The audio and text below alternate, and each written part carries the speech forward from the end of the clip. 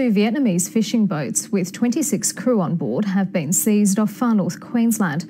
They were caught with an illegal catch of more than eight tonnes of sea cucumbers, a delicacy in China. The boats were intercepted in the Coral Sea about 18 kilometres inside Australian waters. Border Force also found reef fish and turtle meat.